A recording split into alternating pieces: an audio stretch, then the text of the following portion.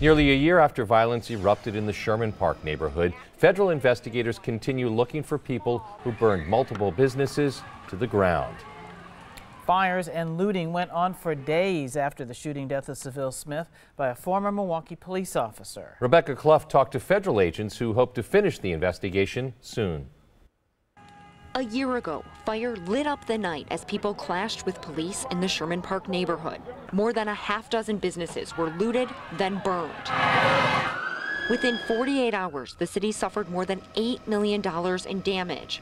Milwaukee PD, fire, and federal investigators from the ATF launched a joint investigation to find those responsible we are going to hold the people accountable who started those fires. Milwaukee police arrested dozens of people in the days following the violence, but it wasn't until last month that the feds arrested and charged a man with setting fire to Big Jim's liquor store.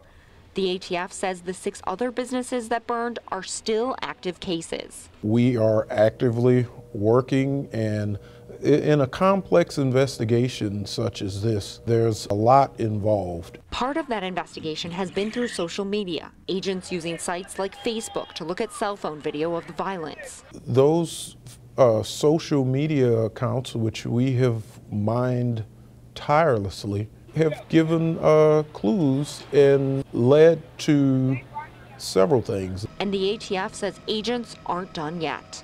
We are in the home stretch of the investigation, and we are antis anticipating uh, more arrests. When it's time, we will bring forth uh, solid cases and we'll be able to tell the community what happened.